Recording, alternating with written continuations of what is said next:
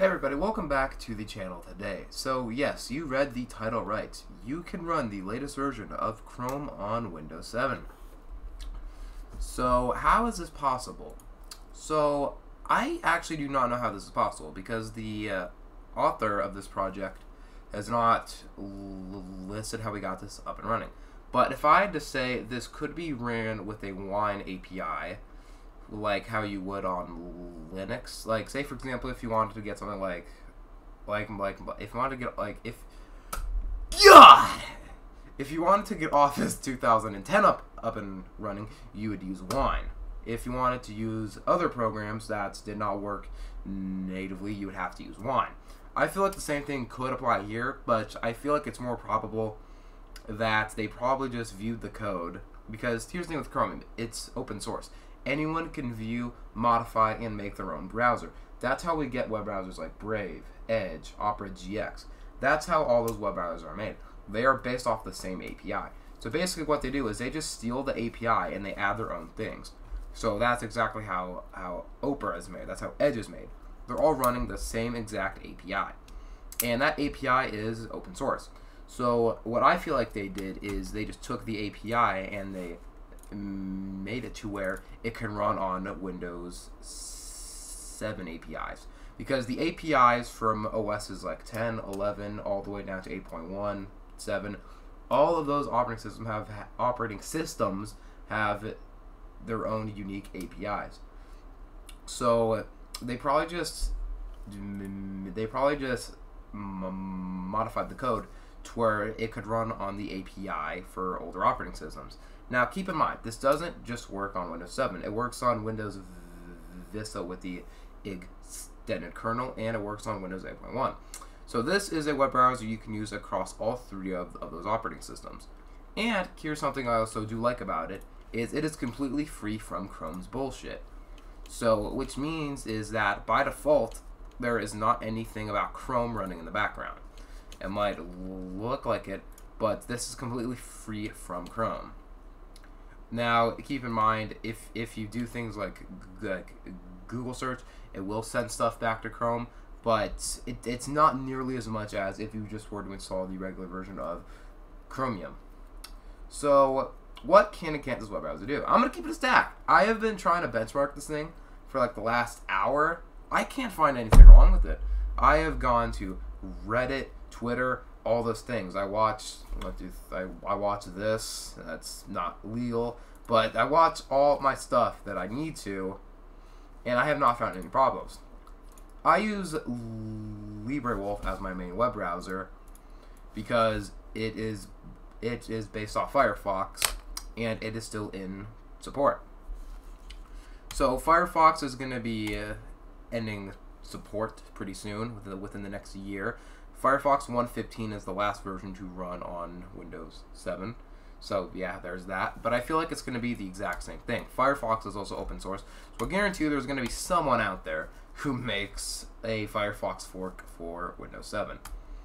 So let's say we try to go to YouTube, we can see it runs perfectly fine. If we try to watch Linus Tech Tips, God, please don't copy. I told you this would be horrible. Water cooling using. God, I have to watch that later. That sounds very intriguing. Can't wait to see how that goes. But as we can see, Chrome extensions work perfectly fine. Everything works great on this web browser. It's like if you were using Chrome on Windows 10 or 11. So if we head on over to what is my browser, we can see that it says we are running Chrome on on Windows 10. So as we can see, JavaScript work, JavaScript works, cookies work, third party works. It's gonna show it's gonna show my IP address, so let me just scroll past that. It even gives you your location, internet speed, borderline window size. It gives you a lot of stuff. So this is the latest version of Chrome up and running. Here's one thing I was find cool about this is I feel like this would easily help a lot of issues with older operating systems, and and one of those things is lack of uh, software supports. If we head on over to Element, basically what Element is is it is a, a Matrix client. I don't want Elemental. I don't want that crappy movie. Element. E L E M E Element. Matrix. So basically, it's a Matrix client. Now, if you don't know what Matrix is, it's like it's like Discord but for privacy. And here's the thing with with Matrix is that it can be used across a lot of other clients. There's like 30 clients you can use for uh, Matrix, all about personal preference. So let me show you guys. If we try to download Element right now, God, I can't type today. I just woke up. Yes, it's noon. So why did I? We were on the download page. I am retarded. Okay, let's just head back to here. Element app. So if we try to download Element right now, if, if I, uh, can I do that, please? God, I got it. No one contact. Okay, uh, what if I just have an Element download? Oh my god, I cannot type today. How did I get a zero in there and and not a? Oh Jesus.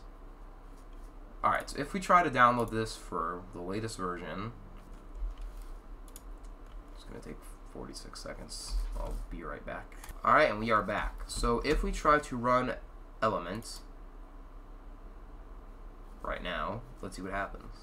So it's taking it a little while. So it's either just going to A, not run, or it's just going to give us a kernel 32 error. So let's see what happens. Yep, run. So it's loading it right now. Yep, as we can see. The product entry point discard virtual memory cannot be loaded in the dynamic link library kernel 32. So as I was as I said, it does not work properly. So it just spins there, spins there, spins there, bada bada. So if we head on over to Supermium, you guys need to understand that a lot of these things are based off Chrome. So the reason why this can't run with the app version is because it is you it is running either Chrome version 114 or 1 or it's it's running I don't know the exact version, but it's running a older version of Chrome that does not work on Windows 7. So if we try downloading the web app, so I'm gonna have to log in real quick. So sign in, open Element Web. If we head on over to Element Web, we can see we have a install button right here. So we can install Elements. As you can see, we have Elements running on the latest version of Chromium. So basically what this does is it allows you to have your own web app for it.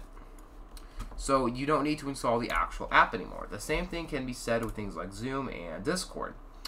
We are not going to have to rely on the actual apps since we have this version of of Chromium. So not only does this give you a up and running web browser, but it also fixes a lot of compatibility issues. I would honestly go as far as saying this fixes 80 to 90% of compatibility issues.